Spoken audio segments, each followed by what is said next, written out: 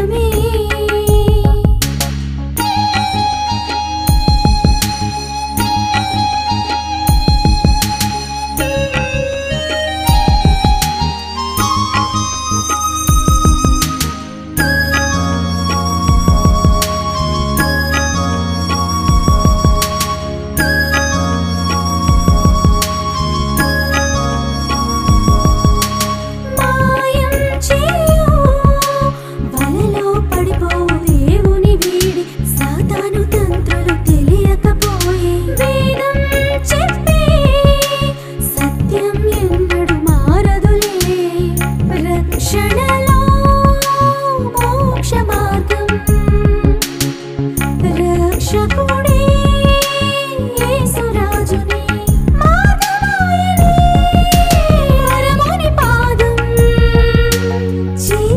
gira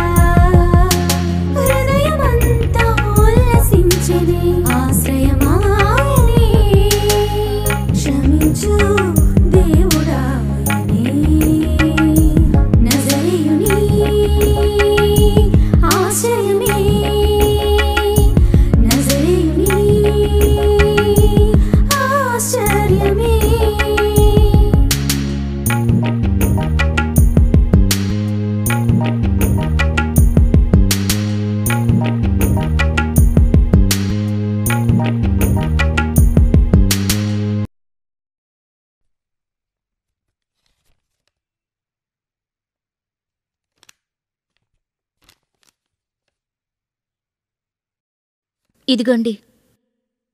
ఏంటిది? చదివి చూడండి. కాలేజీ నుంచి లెటర్ వచ్చింది.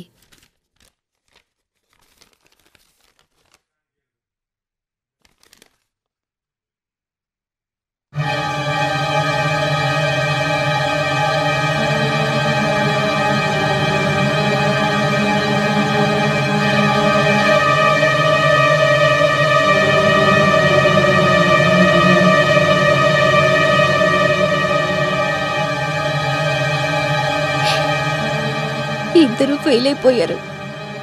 కాలేజ్ కూడా సరిగా వెళ్ళట్లేదట. ఎల్కేజీ నుంచి ఇప్పటి వరకు మన పిల్లలు ఎప్పుడు ఫెయిల్ అవ్వలేదు. ఇప్పుడు ఎందుకు ఇలా అయిపోతున్నారు?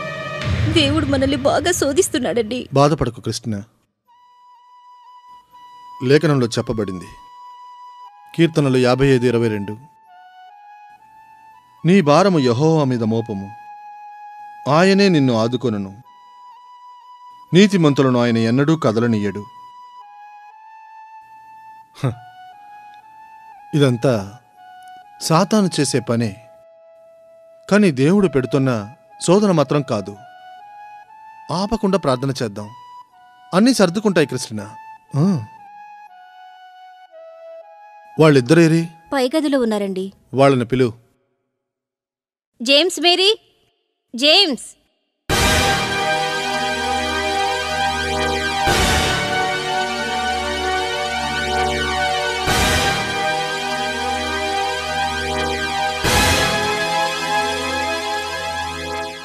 మీ కాలేజీ నుంచి లెటర్ పంపారు తెలుసా? ఇద్దరు ఈ సంవత్సరం ఫెయిల్ అయ్యారు. కాలేజీకి సరిగా వెళ్ళట్లేదు. ఎందుకు ఇలా చేస్తున్నారు? ఏమైంది మీకు?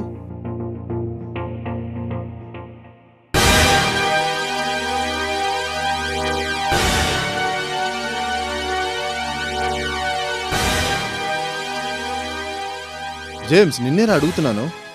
ఈసారి ఫెయిల్ అయితే ఏంటి? వచ్చేసారి పాస్ అవుతానులే. నేను ఇప్పుడు ఫెయిల్ అయిన దాని గురించి అడుగుతున్నాను.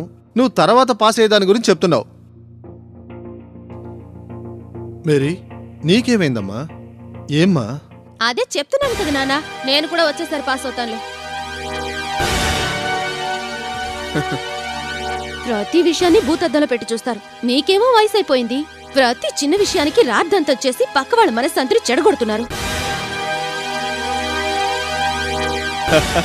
అనుభవించాల్సిన మొత్తం ఇప్పుడే అనుభవించాలి నానా మా వయసు పిల్లల్ని మీరు చూస్తున్నారుగా? ఎలా ఉన్నారు? ఇకపై మేము కూడా అలాగే ఉంటాం. నోరు ముయిరా నువ్వు నా కొడుకని చెప్పుకోవడానికి సిగ్గుగా ఉంది. పొరుగువారి పిల్లలు బాగుండాలని నన్ను వచ్చి ప్రార్థన చేయమంటారు. ఇప్పుడు నా పిల్లలే ఇలా ఉంటే నాకు ఎంత అవమానంగా ఉంటుంది? అయితే మీ గురించి ఎవరికి చెప్పకండి నానా చెప్తేనే కదా మీకు అవమానం. ఎప్పుడైతే బైబుల్ చదవకుండా ప్రార్థన చేయడం మానేశారో అప్పుడే మిమ్మల్ని సాతాను పట్టుకున్నాడు. అందుకే మీరిలా ప్రవర్తిస్తున్నారు. అంత ఘోరంగా ఏం ప్రవర్తించావమ్మా? మేమేం చేసినా మీకు తప్పుగానే అనిపిస్తుంది. కథ చదవకూడదు టీవీ చూడకూడదు సినిమా కూడా చూడకూడదని ఇలా ప్రతిదానికి వంక పెడితే జీవితం మీదే విరక్తి వస్తోంది.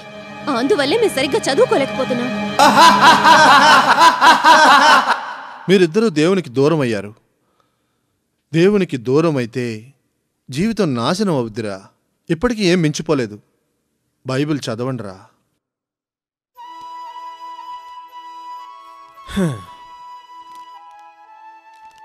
ప్రసంగి పదకొండు తొమ్మిది. యవ్వనుడా నీ యవ్వనమందు సంతోషపడుము. నీ యవ్వన కాలమందు నీ హృదయము సంతోషంగా ఉండనిమ్ము. నీ కోరిక చొప్పునను నీ దృష్టి యొక్క ఇష్టము చొప్పునను ప్రవర్తింపము. అయితే వీటన్నిటిని బట్టి దేవుడు నిన్ను తీర్పులోనికి తెచ్చునని జ్ఞాపకముంచుకొనుము.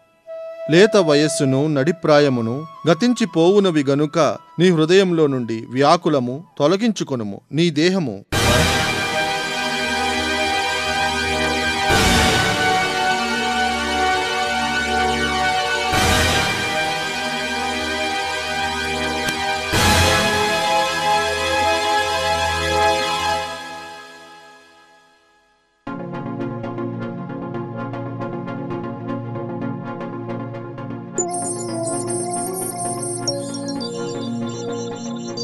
ఏంట్రా? చాలా బోర్ కొడుతుంది కదా.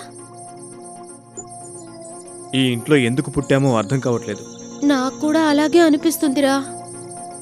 మన ఫీలింగ్స్ని అమ్మా నాన్న అర్థం చేసుకోవడం లేదు కదా. మనం ముందు నుంచి వాళ్ళు చెప్పిన ప్రతిదానికి తలుపాం. అందుకే ఇప్పుడు కష్టపడుతున్నాం. మా ఫ్రెండ్స్ అందరూ ఎంత జాలీగా ఉన్నారో తెలుసా నీకు? మా ఫ్రెండ్స్ కూడా జాలీగానే ఉన్నారు. మనమే సరిగ్గా ఆరయ్యేసరికి జైల్లో బంధించినట్టు ఇంట్లో ఉంటున్నాం. నేను అప్పుడే ఇంట్లోంచి వెళ్ళిపోయేవాడిని మేరీ. అమ్మ మొహం చూసి ఊరుకున్నాను. చీచి అందుకని ఇల్లు వదిలి వెళ్తారా? మనం అమ్మ నాన్నని మార్చాలి. వాళ్ళని మన రూట్కి తీసుకురావడానికి ట్రై చేయాలి. అది మన వల్ల కాదు మేరీ. నా ఫ్రెండ్స్ అందరూ పిక్నిక్కి వెళ్తున్నారు. అందుకు వాళ్ళ అమ్మా నాన్న ఒప్పుకున్నారు. ఇదంతా వాళ్ళ పిల్లలపై వాళ్ళకున్న ప్రేమ. మన ఇంట్లో మనమంటే అస్సలు ప్రేమ లేదు కదా. మా ఫ్రెండ్స్ కూడా టూర్కు వెళ్తున్నారు. నన్ను పిలిచారు. ఎలా వెళ్ళాలి?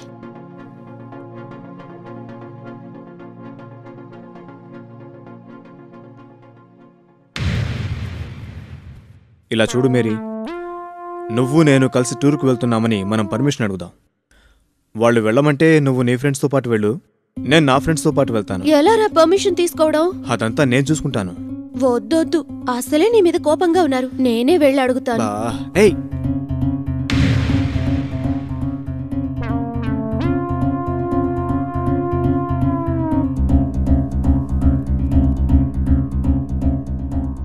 అమ్మా!